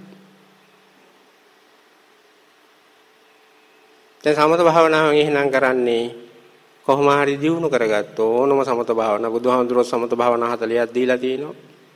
මේ හැම එකකින්ම කරන්නේ හර සාර්ථක කරොත් පංච ඉන්ද්‍රියට අස්කන්නාසාදී පංච ඉන්ද්‍රියට සංහාවට පණින්න බැරි තත්ත්වයේ උදා කරුණු. එහෙනම් පණින්න තියෙන්නේ මනෝ ඉන්ද්‍රිය. මනෝ ඉන්ද්‍රියනොත් මනෝ මනසට මතක ගෙදර දොර ඉඩ කඩන් යාන වාහන ඇඳුම් පැළඳුම් ඒවට පණින්න ගියොත් භාවනාවක් නැහැ. පණින්න ඕන තැනක් භාවනාවෙන් හදනවා. තර තණ්හාවට පණින්න දෙනවා හදාගත්තේ අතු දෙකක. ඒ අතු දෙක සමාන කරගන්න. එහෙම සමාන වෙච්ච එක අත්තක් තමයි මෛත්‍රිය. පණින්න ඕනේ මෛත්‍රියෙන් මෛත්‍රියට. තේරෙනවනේ අලුත් භවයක් හදනවා. හදන්නේ මෛත්‍රියෙන්මයි. මෛත්‍රියෙන් අලුත් භවයක් හදනකොට අනික් ඉන්ද්‍රියන් වලින් භව හදන්නේ නැත්නම් තණ්හාවේ తත්‍ර తත්‍ර අභිනන්දනී කියන නැහැදිච්චකම අඩු නම් එතන තියෙන්නේ මෛත්‍රී චේතෝ විමුක්තිය කියනවා. ඔන්න මෛත්‍රී භාවනාවේ ඵලය. බුදුගුණ භාවනාවෙත් ඕක වෙනවා. අසුභ භාවනාවෙත් ඕක වෙනවා. ඕක ඔක්කොම සමත භාවනාව. නමුත් එතන තණ්හාවේ පෝනෝ භවිකා ගුණය යහතින් තියෙනවා. ඒ අලුත් පෝනෝ භවිකගේ අලුත් භවයක් හදන එක හදන්නේ හැබැයි කාම භවයක් නෙවෙයි රූප භවයක්. ඒ කියන්නේ මොකද්ද? කාම වස්තුවක් නැහැ එතන. තියෙන්නේ මනසෙන් හදපු රූපයක්. මෛත්‍රිය වෙන්න පුළුවන් බුදු ගුණ මනසෙන් හදපු රූපයක්. තේරෙනවනේ. ඒක දකින්න බෑ කාට. භෞතික ලෝකේ නෑ. එතන මනසෙන් හදපු දෙයට කියනවා රූප රූපාවචර අස්කන්නාස ආදී ඒවට ගෝචර වෙන දේවල් වලට කියනවා කාම දැන් බුදු ගුණ වල තියෙන රූප ස්වરૂපය රූපාවචර මානසික தත්ත්ව රූපාවචරයෙන් රූපාවචරයට අලුත් බව හදනවා මනසෙන් හදපු සමත නිමිත්තට පැන පැන සතුටු වෙනවා. ඕකට කියන සමත භාවනාව. ඒ ඕකට සතුටු වෙනකොට එලි දැක්කම උපාසකම්මලට හිතෙනවා තණ්හාව නැති වුණා කියලා. ඒව දන්න දන්න කමයි. දැන් ඔයගොල්ලෝ කරන භාවනාව ඒ වගේ එකක් නෙවෙයි. දැන් භවත භාවනාවෙන් නම් ඉතුරු කරගන්නවා තණ්හාවේ නැහැදිච්ච ස්වરૂප දෙකක්. මොකද්ද? අලුත් භවයක් හදන එක ඉතුරු කරගන්නවා. ඒ වගේම ඒ භවයෙන් සතුටු වෙන එක ඉතුරු වෙනවා. සමත ධානයේදීත් මෙහෙම්මමයි. නමුත් ඉගෙන ගන්නේ සතිපට්ඨාන භාවනාව. සතිපට්ඨාන භාවනාවේ තියෙන විශේෂ ගුණය තමයි ওই තණ්හාවේ ওই ස්වરૂප තුනම නැති කරනවා. අලුත් භව පෝනෝ භවිකා ගුණයක් නැති කරනවා. නන්දි රාග සහගත ගුණයක් නැති කරනවා.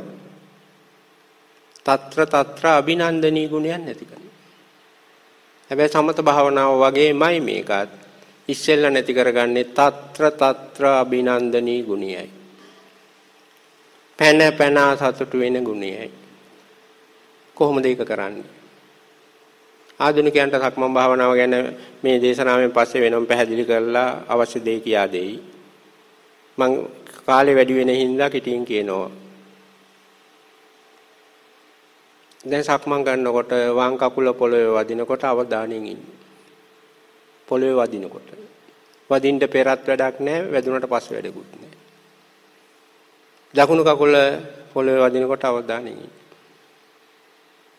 මේ අවධානය පුරුදු කරනකොට කාලයක් මෝඩයෙක් වගේ කම්මැලියෙක් වෙන්නේ නැතුව පඬිතකම් නැතුව බුදුහාමුදුරුවෝ කෙරෙහි ගෞරවයෙන් මට හොඳ භාවනාව තියෙන්නේ ඕක නෙවෙයි කියලා වෙන ඥාන ගැන කල්පනා කරන්නේ නැතුව අර සක්මන කරොත් තණ්හාවට අර తත්‍ර తත්‍ර අභිනන්දනී කියන ගුණය අඩු වෙනවා. සමත භාවනාවේදී නම් ඇහැ වහලා නැති කරනවා ඇහැට පයින් එක. සක්මන් භාවනාව ඇස් වහලා නෙමෙයි කරන්නේ අරගෙන. අඩවම් කරගෙන අපිට යන පාර පේන විදියට. මලු සක්මන් මලුව පේන විදියට, ගමන් පතේ පේන විදියට. නමුත් දක්ෂ වෙනවා කවදා හරි කොච්චර දේවල් පෙනුනත් පේන දෙයට පනින්න නැතුව කමටහනට පනින්න. එහෙනම් తත්‍ර తත්‍ර අභිනන්දනී කියන ගුණය ඇහැට හෝ කනට හෝ ඕවට පනින්න නැතුව වම් කකුලෙන් දකුණු කකුලට විතරක් පයින් තත්ත්වයට හැදෙනවා කාලයක් කරොත්. දැන් තණ්හාව පනින්න ඕනේ කොහෙන් කොහෙටද? වම් කකුල පොළවේ වදිනකොට වම් යටපල්ලටයි ඊට පස්සේ ආයෙ පනින්නේ දකුණු යටිපල්ලට. ඕක ඉතින් බෑ. අර පෙන්ෂන් යනකම් ඕටී කරලා ලෙඩ ගැන බයේ මේ රක්ෂණ දාලා දාලා ඔන්න ආපු උපාසකම්මට. පනින්නේ කොහෙටද? කමටහනට නෙමෙයි බඩට, කොන්දට, පපුවට. පැනලා ගියන්නේ මොකද? తත්‍ර తත්‍ර අභින ශාරීරියේ පයින්න එක එක තැනට. දැන් පනින්න ඕනේ කමටහනේදී කොහෙද? සමත මේ සක්මන් භාවනාවේ වම් යටිපල්ලටයි දකුණු යටිපල්ලටයි. පනින්නේ කොහෙද? අර අර නැහැදිච්ච උපාසිකාවට. ඔළුවට පනිනවා, බඩට පනිනවා. මගේ බඩේ අමාරුව, දනිස්සට පැනලා දනිස්ස කැක්කුමයි. ඒ පැනපිටන නේද රුදාව ඇති වෙන්නේ. ඒකින්ද මට සක්මන්කා භාවනාව කරන්න බෑ. අර ඉස්සර කාර්යාලයේදී වගේ පුළුවන් පුටු උඩ නැගලා ඕටි කරන්න විතරයි. ඒ අවුරුදු 50ක් 60ක් ඒ නැහැදිච්ච වැඩේම කරා නම් දැන් පුළුවන් ද ඇවිදින්න. ආයේ පොඩි ළමයෙක් වගේ පුරුදු වෙන්න ඕනේ නේද? දැන් ඕක නේද වෙලා තියෙන්නේ. එදින වෙන අරුමෝසන් කතා කියනවා අපිට දොස්තර කියලා තියෙනවා මේක. අඩි දෙකක් ඇවිදින්න එපා කියලා ඇඳේමයි ඉන්න එපා ඉන්න කියලා තියෙන කියන මිනිස්සු රින්ගන්නේ පන්සල් වලම. ඇඳේ ඉන්න එපා ගෙදෙට්ට වෙලා. මොකද පන්සල් වලට ඉන්නේ දැන් එහෙම හයට පනින්නේ කොහෙටද? තණ්හාව පනින්නේ කමටහනට නෙවෙයි. කොහොම හරි දක්ෂ වුණොත් අර කමටහනේම පැවැත්වීම තුල කවදා හරි අර මනෝ ඉන්ද්‍රියට වඳුරා පනින්නේ නැතුව වඳුරා කියන්නේ මේ තණ්හාව පන්නන්නේ නැතුව කමඨහනටම විතරක් පනින தത്വයට හැදියි. දැන් ප්‍රශ්නේ තියෙන්නේ අලුත් භවයක් හදන පෝනෝ භවිකා ගුණයේ තියෙනකොට මම හැදෙන්න ඕනේ. අලුත් ඉපදීමක් තියෙන්නත් ඕනේ ඉපදුන එකෙක් ඉන්න ඕනේ. දැන් වම් කකුල පොළවේ වදිනකොට මගේ වම් කකුල බිම වැදුනා කියලා අලුත් එකක ඉපදිනවා. ඕක තමයි පොනෝ භවිකා. අලුත් එකක ඉපදුනේ මක් නිසාද? මගේ කකුල වීම හින්දා. මගේ වම් කකුල වීම හින්දා. දැන් ඔහොම කාලයක් පුරුදු කරෝ එක පාට කරන්න පුළුවන් දෙයක් නෙමෙයි මෝඩයා වගේ කාලයක් පුරුදු කරොත්. ඔය ඔය කමටහන. දැන් යටිපල්ල මගේ කියන එක පොනෝ භවිකා ගුණිය උපදවන්න පුළුවන් හැකියාව නැති කරනවා. මගේ කියන හැකියාව නැති කරනවා. කොහොමද ඒක නැති වෙන්නේ? මගේ කියන වංකා කොළ යටිපල්ල මගේ වෙන්න නම් යටිපල්ලේ අපිට මගේ වෙච්ච මෙච්චරකම් උරුමකම් කිය මානව හිමිකම අහිමි වෙන්න ඕන. ඒතට යටිපල්ලේ මානව හිමිකම මොකද්ද? මස් ඇටලි මස් ඇටලේ තිබුණොත් තමයි බෝනෝ භවිකා ගුණය ඇති කරන්න පුළුවන්. යටිපතුලේ. මගේ කරන්න පුළුවන්. අලුත් භවයක් ඇති කරන්න. එතකොට අලුත් භවය ඇතිකරන්න මස් ඇටලේ වලට හැකියාව තිබුණාට ඔය සතිපට්ඨාන භාවනාව වඩනකොට අර తත්‍ර తත්‍ර අභිනන්දනී ගුණය දුර්වල වෙනකොට සමාධියක් එන්නේ ඔකට කියනවා ඔය తත්‍ර తත්‍රාභිනන්දනී පැන පැන හසුට වෙන එක අඩු කරන එක තමයි සමාධි ශික්ෂාව. තණ්හාව පැන පැන සතුට වෙන එක. ඒකෙන් පැන පැන සතුට වෙන කාම ලෝකේ වට පංචේන්ද්‍රියට පයින් එක නැවැත්තුවම රූපාවචරයට විතරක් පයින් එක තමයි සමත භාවනාව කියන්නේ. නැන අරූපාවචරයට විතරක් පයින්. දැන් මෙතන එහෙම එකක් නැහැ. ඉන්ද්‍රිය හයම තණ්හාවට පනින්න ඉඩක් තියෙනවා. දොරටු වහලත් නැහැ. නමුත් අර පුහුණුව තුලින් පනින්නේ ශරීරයට විතරයි. බුදුහාමුදුරන්ගේ කමඨහනට විතරයි ශරීරය. යටිපතුල් වලට. එහෙම් පයින්නකොට යටිපතුල මගේ වෙන්නකොට මස් ඇටලේ තේරෙන්න ඕනේ. නමුත් කයට කය තේරෙන විදිහකට එනවා. ඒ කියන්නේ මස් ඇටලේ වෙනුවට යටිපතුලෙන් ධාතු ගුණ ප්‍රකට වෙනවා. ආන්නේ ධාතු ගුණ මොනවද? උණුසුම සීතල කම්පන චංචල ඔය වගේ ගුණ ටික. ඕක මගේ වෙන්න බෑ. තණ්හාවට ළඟින්න බැරි තැන, පොනෝ භවිකා ගුණේ පවත්වන්න බැරි තැනක් එතන. ඒක ගැන සතුටු වෙන්න බෑ. හැබැයි ඒත් පුළුවන්. අර දැනෙන ධාතු ගුණයට ඇලුනේ හැටිය, ගැටුනේ හැටිය අලුත් භවයක් ආය හදනවා. ඒකෙන් සතුටු වෙනවා හෝ දුක් වෙනවා. ඒකට කියන ධාතු ගුණ ගැන ඇලීම හෝ ගැටීම. යමෙක් ඔය සක්මණෙන් අර නන්දි රාග සහගතා කියන ගුණය තිබුණක් කමන්නේ తත්‍ර తත්‍ර පැන පැන සතුට වෙන ගුණය අහක් කරගෙන පුහුණුවෙන් අහක් වෙන්න ඕනේ හිතලා ගන්න බෑ මේවා පුහුණුවෙන් අහක් කරගෙන අර කමඨහණෙන් ධාතු ගුණ ප්‍රකට කරගෙන ඒ ධාතු ගුණ වලට ඇලෙන්නේ නැති ගැටෙන්නේ නැති තැනක් තියද? එතන නෑ පොනෝ භවිකා ගුණය. අලුත් භවයක් නෑ එතන අලුතෙන් හට ගැනීමක් තියෙනවා. නමුත් හටගත්ත එක අයිතියකෙත් නැති වුණාම පොනෝ භවිකා කියන ගුණේ නැහැ. හට ගැනීම නෙමෙයි ප්‍රශ්නේ තියෙන්නේ හටගත්ත එකේ අයිතිකාරයෙක් ඔප්පුකාරයෙක් බිහිවීමයි. තණ්හාව කරන්නේ ඉච්චරයි.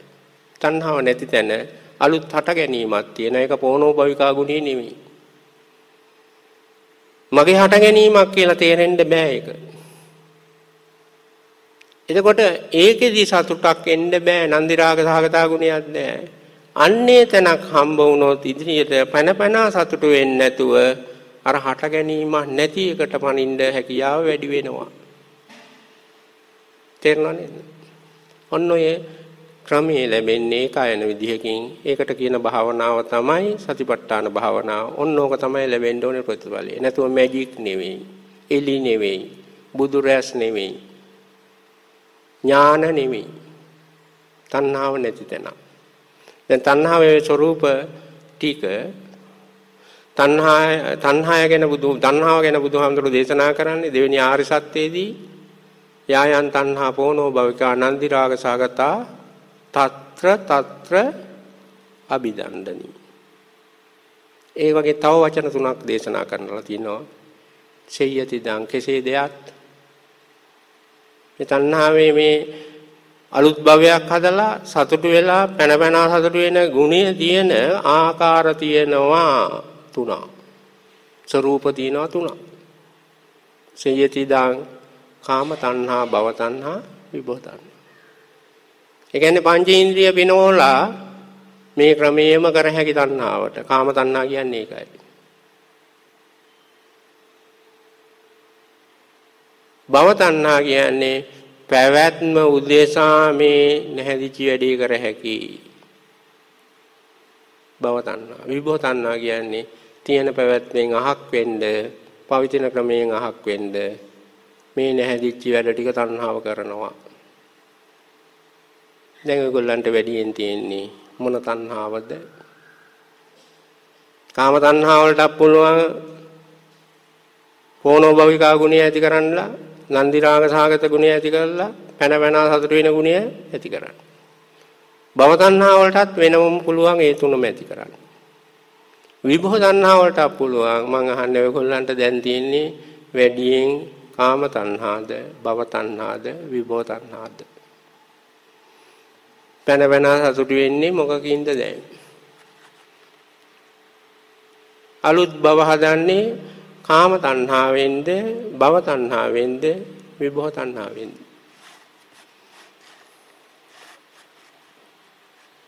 ඉතින් සතිපට්ඨානෙ වැඩුවා නම් ඕවත් තේරෙන්න ඕනේ හරියට වැඩුණොත්.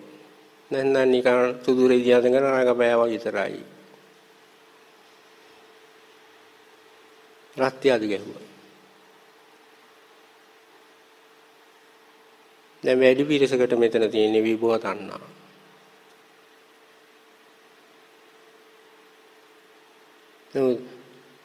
විභාග කොමසාරිස් ලකුණු දෙන එක නෙමෙයි මම මේ කියේ. දැන් තියෙන එක. කොමසාරිස් ලකුණු දෙන්නේ නැහැ ඔයගොල්ලෝ. කොමසාරිස් පස්සේ ගිහින් සහතික ගත්තට නිවන් දකින්න බෑ කාටවත්. මොකද විභාග කොමසාරිස් නිවන් දැකපෙන්නේ නෙමෙයි.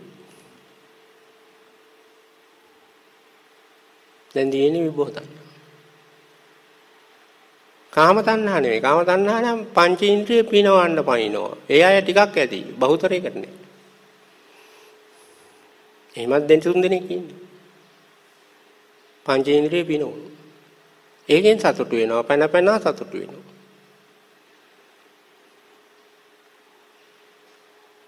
දැන් වෙලාව 10ට 20යි.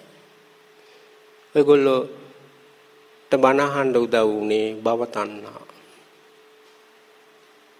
කියන්නේ බණ අහන්න කුසලයට උඟක් උදව් වෙන තණ්හාව භව තණ්හා පැවැත්මට කාම තණ්හා දීද්දි බෑ මේක කරන්න. භව තණ්හාවෙන් තමයි කුසල් ගොඩක් කෙරෙන්නේ. දැන් ඇයි ඔයගොල්ලන්ට වැඩි විභව තණ්හා තියෙනවා. දැන් ওই ඉඳගෙන හිටිය ඇති වෙලා තියෙන්නේ. ඉඳගෙන හිටිය පැවැත්මට දැන් කැමති නෑ. මනහාපු එක දැන් අමාරුයි. පෙලක් අයට විභව තණ්හාව ඇදලා තියෙන්නේ ඔය පුටු උඩ වාඩි වෙලා හිටියට දැන් වැසිකිළියට යන්න ඕන වෙලා තියෙනවා. පුටු උඩ ලගින එක භවය පැවැත්ම. ඔය ඒ පුටු උඩ ලගින භවයට කැමති නෑ වැසිකිළිය ලගින්න කැමති. එතකොට මොකද්ද තියෙන තණ්හාව? විභව තණ්හා. මේ භවයේ පුටු උඩ ලගින භවයට කැමති නෑ. දැන් වෙලකයට තියෙන විභව තණ්හා. බණ ඇහුව ඇති දැන් ඕනේ සක්මන් කරන්න. දර වනහන භවයට කැමති නෑ. භාවනා කරන භවයට කැමති. දැන් වැඩි හරියට තියෙන්නේ මොකක්ද එහෙනම්? විභෝතන්. ඒ කියන්නේ යම්කිසි පැවැත්මකට අකමැත්ත අකමැත්ත ලෙස තණ්හාව ඇවිදින් අලුත් භව හදනවා.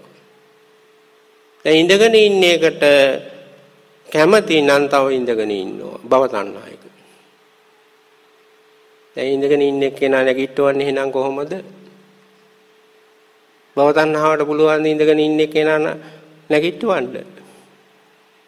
ඔය ඔය ඉඳගෙන ඉන්න කෙනා නැගිටවන්නේ විභව තණ්හාවෙන්.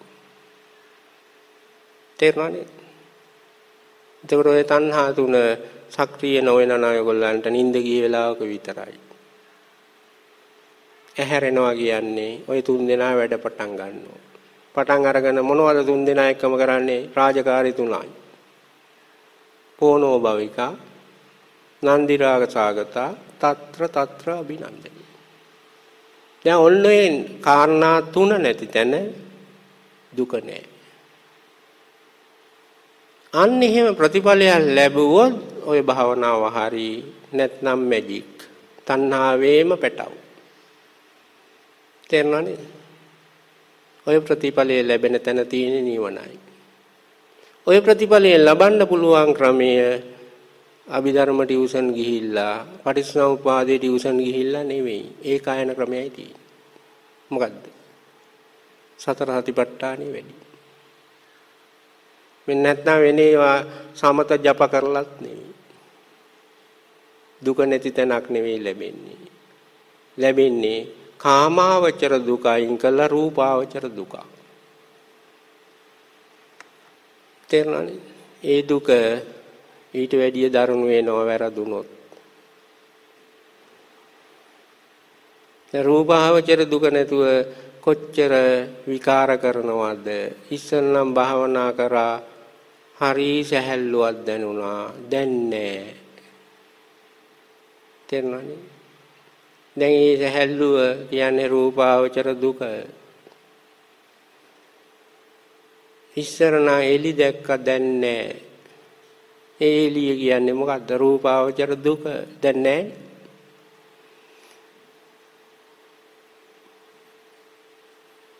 දැන් රූපාවචර දුක දරුණුයි. කාමාවචර දුකේ නම් පංචේන්ද්‍රියට මාරු වෙලා හරි දුක හක් කර හැකි රූපාවචර දුක આવොත් යන්න වෙන්නේ පිස්සන් කොටුවටයි. ඒ කියන්නේ මොකක්ද? භාවනා කරන මිනිස්සු පිස්සු හැදෙනවා කියන්නේ රූපාවචර දුකට පැමිණලා තමයි. ඉස්සර තිබිච්ච ප්‍රතිඵලයේ පස්සේ නැහැ කියලා තියෙන දුක. මේ කාමාවචර දුක නම් ඔක අහක් කර හැකි. කොහොමද අහ කරන්න ලේසි? ඉස්සර නෝන කෙනෙක් හිටියා එයා හොරෙන් පැනලා ගියා මොකද්ද කරන්න තියෙන්නේ? ඈ තව එකෙන් බැඳගත්තා රත්තියාදු ගහලා.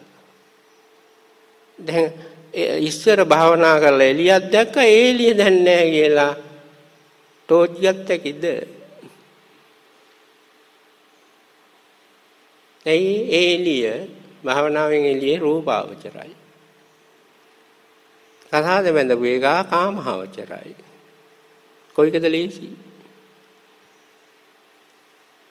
ඒවා නොදන්නේ අය නිකන් නාකි වෙනවා පන්සල් වල. පරණ ඒවා හොයනවා. බුදුහාමුදුරගේ පණිවිඩය දන්නේ නැහැ. ඒකින්ද ආධුනිකයන්ට මේ කියා දුන්නේ ඔන්න බුදුහාමුදුරුවෝ දෙන භාවනාවේ ප්‍රතිඵලය. තණ්හාව නැති තැනට යන්න. යන ක්‍රමය ওই භාවනාව තුල තියෙන. යන්නේ මෝඩය වගේ හරියට කිරීමෙන්. ගියොත් ඕක ලැබුණොත් එතන දුක නෑ. එතන තණ්හාවක් නෑ. දැන් අර තණ්හාවේ තියෙන කාම භව විභව කියන ස්වરૂපයන් ටික අපි හවස් හරි වෙලාව තිබුණොත් සාකච්ඡා කරන්න බලාපොරොත්තු වෙනවා දැන් වෙලාව 10ට කාලයි දැන් ගිලම්පසත් අරගෙන ඒ ආධුනිකයෝ වෙනම මේ ස්ටේජ් එකට ඇවිදilla ඒ තුසාරිකා නෝන පැහැදිලි කරන ආකාරයට ඒ භාවනාව පටන් ගන්න. කරන්න පුරුදු වෙන්න ඕනේ. දැන් පුරුදු වෙලා අවසාන ඉලක්කය මම මේ කිව්වේ. නැත්නම් අර පරණ අය වගේ මෙතන රත්තියදු ගහන්න අලුත් අයත් එන්න පටන් ගන්නවා.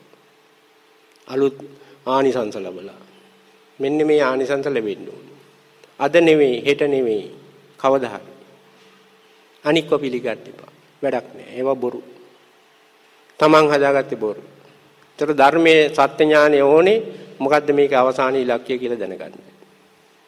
එතකොට එහෙම කරලා අපි අද දවසේ වැඩසටහන සාමාන්‍ය වෙනස් කරනවා.